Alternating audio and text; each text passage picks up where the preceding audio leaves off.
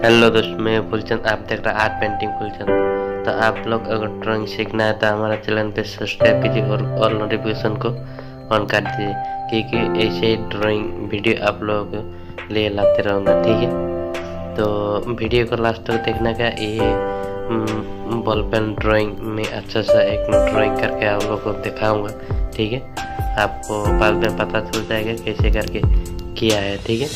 तो देखने में थोड़ा बहुत अच्छा है। ठीक, एक लड़का जो पढ़ाई करने के लिए नहीं कर रहा है, ऐसा टाइप का मैं इसे ड्राइंग करूँगा, ठीक है?